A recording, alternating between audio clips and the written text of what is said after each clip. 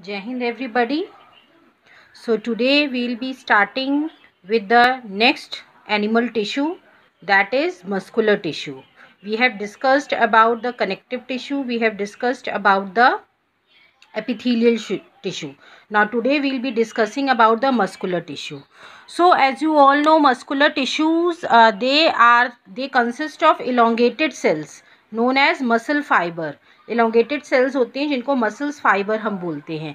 And these muscles fibre और you can say this tissue help in the movement of our various body parts when you walk when you run okay when you use your hands so it is only because of the help of muscular tissue you are able to move your body so muscular tissue is found everywhere in our body you can say now these muscular tissues they have a special type of contractile protein which is responsible for movement so now the thing is that why we uh, why we uh, are able to move our body so it is due to the presence of a special type of protein contractile protein जो कि हमारी body को contract और relax कर सकता है okay means stretch और uh, we can bring our body back to the normal position so it is due to the contractile protein जो कि flexible होता है वो हमारी body को flexibility देता है ये protein now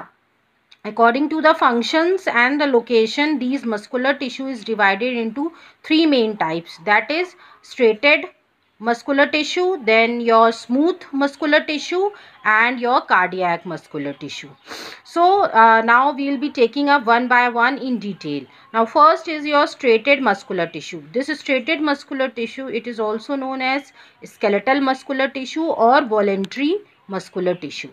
So as the name suggests why we have said voluntary? As you all know voluntary kya hota hai the things which are in our will जो चीज़ें हम अपने अकॉर्डिंग मूव कर सकते हैं, अपने अकॉर्डिंग हम उनको कर सकते हैं, वो वॉल्ट्री एक्शंस होते हैं, जो कि, जो एक्शंस हमारे कंट्रोल में हों। जैसे हम जब चाहें अपने हाथ को स्ट्रेच करें, जब चाहें हम अपने लेग को स्ट्रेच कर सकते हैं we can we can see backward we can see forward okay we can see left and right तो ये सारे एक्शंस जो हैं हमारे विल में हैं, ठीक है? हमारे हमारे चॉइस पे है हम चाहें तो इनको अपने हिसाब से मूव कर सकते हैं।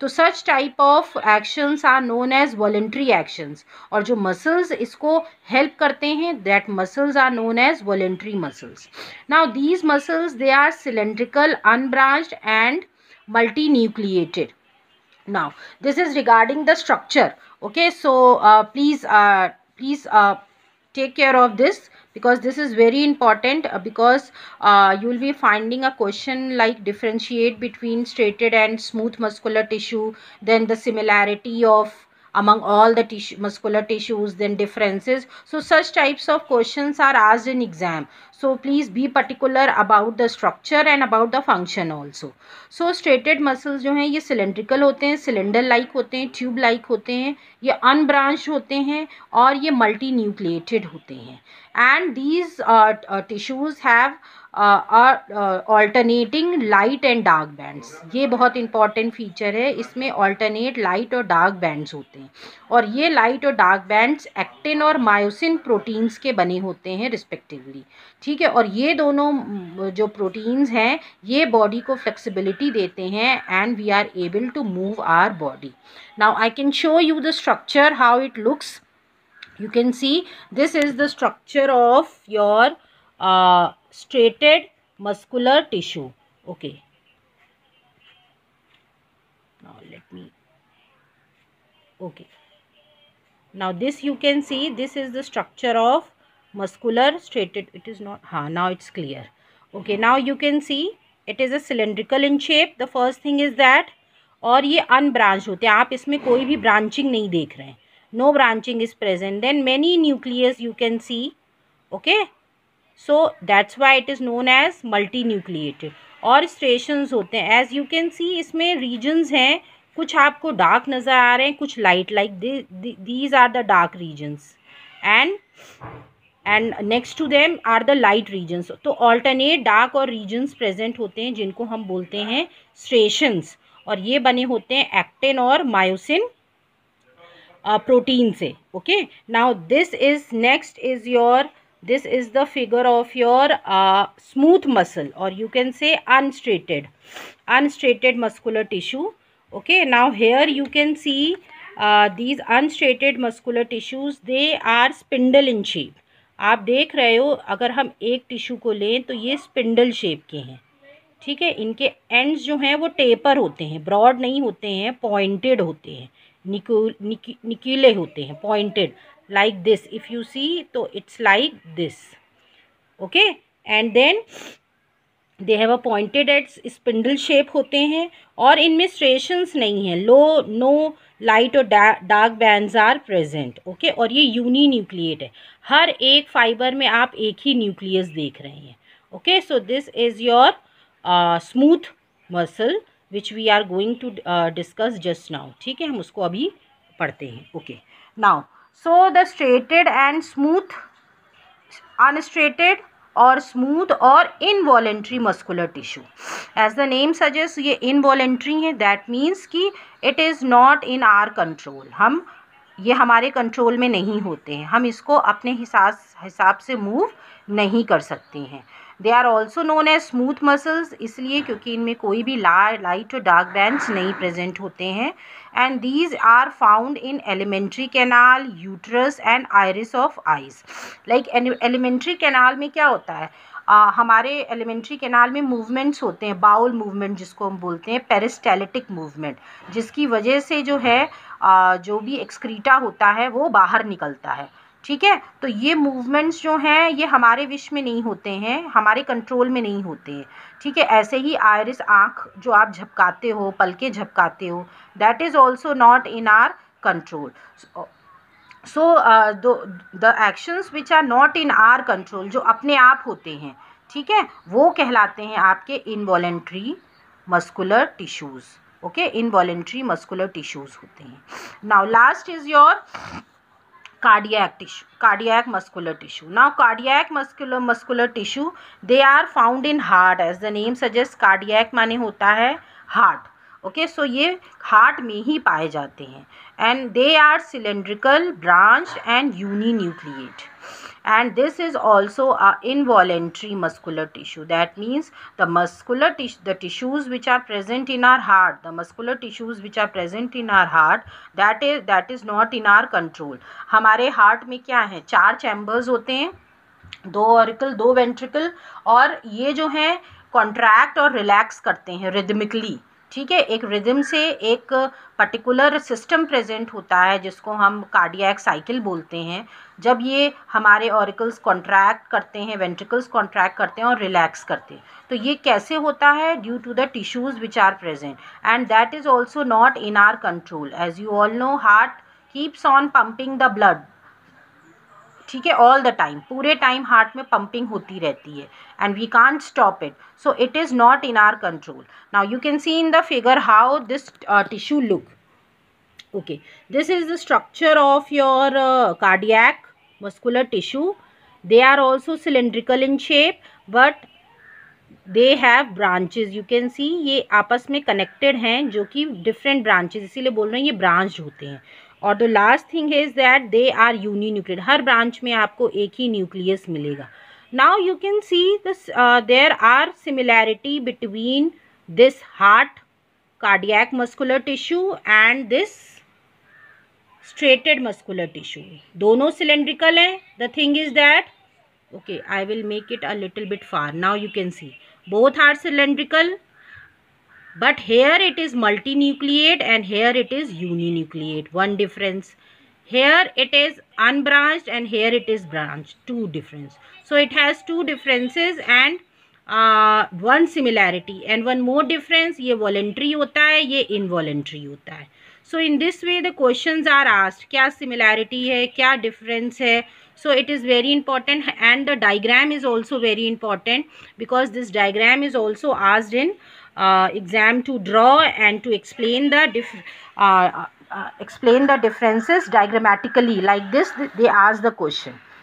Now coming to the last muscular tissue that is nervous tissue.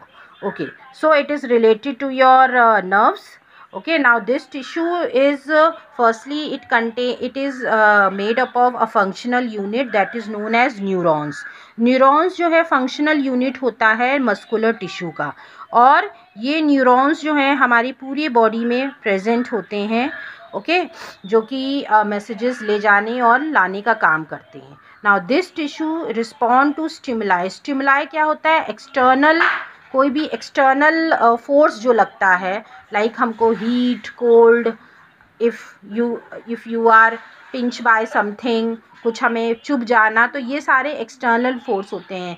जब लाइट हमारे आँख में पड़ती है तो हम uh, आँख अपनी ब्लिंक करने लगते हैं। सो so, जो भी एक्सटर्नल फोर्सेस uh, जो भी होते हैं स्टिमुलाई होते हैं उनके अगेंस्ट ये जो है रिस्पॉन्ड करता है। ठीक है, जैसे ही हमको कुछ गर्म लगता है we quickly move our hand okay so ये सब हैं जो हीट है, यहाँ हीट स्टिमुलाई हुआ, ठीक है? लाइट में आग बंद कर लेना तो लाइट स्टिमुलाई हुआ। So these are the different types of these are the different types of stimuli now, the brain, spinal cord and nerves, these are composed of nervous tissue and neurons और ये neurons जो हैं, पूरी body में हमारे present रहते हैं। Now if you see the structure of neuron so this is the structure of neuron okay and this structure is also very important because it is also आज an exam to draw so this is the structure of neuron ना this neuron has a two parts एक part ये होता है और एक part ये होता है। ये पार्ट कहलाता है cell body this this this part is known as cell body इसको साइटॉन भी बोलते हैं. And this cylindrical part is known as axon okay अब ये जो सेल बॉडी होता है, इसमें न्यूक्लियस होता है और डेंड्रॉन्स प्रेजेंट होते हैं. और ये डेंड्रॉन्स फर्दर ब्रांच कर जाते हैं, जिनको हम डेंड्राइट्स बोलते हैं. ओके नाउ ये एग्जॉन होता है, पूरा सिलेंड्रिकल स्ट्रक्चर ओके और ये जो है ऊपर शीट से कवर होता है, जिसको माइलिन शीट बोलते हैं। बीच बीच में गैप्स होते हैं ओके बीच बीच में गैप्स होते हैं और ये जो है नर्व एंडिंग्स होती हैं। नाउ ये नर्व एंडिंग्स फिर जो है दूसरे न्यूरॉन से कनेक्ट साइटो दूसरे दूसरे न्यूरॉन के डेंड्राइट से कनेक्ट हो जाती हैं, ये नर्व एंडिंग्स इस तरह ये जो न्यूरॉन्स होते हैं, हमारे पूरे बॉडी में प्रेजेंट होते हैं millions of neurons are present और ये आपस में एक दूसरे से कनेक्टेड भी होते हैं। This is the structure of one neuron ये एक न्यूरॉन है। अब ये जो नर्व एंडिंग्स दिख रही हैं, अगर हम देखें तो इसी में क्या होगा, जब कभी नर्व इम्पल्स ट्रांसफ़र होती है हमारी बॉडी में, एक जगह से दूसरी जगह तो यहीं पे एक और आपका सेल बॉडी आ जाएगी लाइक like दिस और उसके जो डेंड्राइट्स होंगे वो इसके नर्व एंडिंग के साथ अटैच हो जाएँगे। और इस तरह दूसरा आपको आपको दूसरा न्यूरॉन मिल जाएगा। तो इस तरह न्यूरॉन्स आपस में कनेक्टेड होते हैं और जब ये कनेक्टेड होते तो इनके बीच में स्पेस होती है। आ, इनके बीच में स्पेस होती है जहाँ पे I am not going in very much detail तो ये जहाँ पे दोनों एक दूसरे से मिलते हैं, दो न्यूरॉन्स एक न्यूरॉन का एंड और दूसरे का हेड मिलता है, वहाँ पे ये साइनैप्स बनाते हैं साइनैप्स ठीक है जंक्शन होता है जहाँ दो न्यूरॉन्स मिलते हैं और ये जो नर्व एंडिंग्स होती हैं, ये एक केमिकल रिलीज़ करते हैं न्यूरो जिसको बोलते हैं, जिसकी वजह से जो इम्पल्स होती है वो एक न्यूरॉन से दूसरे न्यूरॉन में जंप कर जाती है। और इस तरह ये पूरे बॉडी में आपका मैसेज ले जाने का काम करती है टू द ब्रेन और ब्रेन से आपके मसल्स तक मैसेज ले जाती है कि आपको अब ये काम करना है brain okay so this is about the structure of your nervous tissue so जो नर्वस टिश्यू होता है it is compose of cell body cytoplasm nucleus dendrite axon and nerve ending and this nerve impulse allow us to move our muscles when we want to respond to stimuli. ठीक है, जब भी, जब हमें किसी external force के against respond करना होता है तो ये नर्व इम्पल्स ही हमको डायरेक्ट करते हैं ओके ब्रेन तक मैसेज जाता है थ्रू थ्रू सेंसरी न्यूरॉन तीन तरह के न्यूरॉन्स होते हैं sensory motor and relay neuron तो सेंसरी न्यूरॉन्स जो हैं मैसेज ले जाती हैं सेंस करती हैं और मैसेज ले जाती हैं हमारे मसल से ब्रेन तक कि हमको ये काम करना है। फिर ब्रेन जो है डायरेक्ट करता है मैसेज वापस भेजता है मोटर न्यूरॉन के थ्रू कि ये एक्शन अब करना है। Okay suppose you feel a heat हमें कोई चीज़ गर्म लगती है तो तुरंत हमारा ब्रेन तक मैसेज जाएगा ये सब कुछ बिल्कुल नैनो सेकेंड्स में होता है।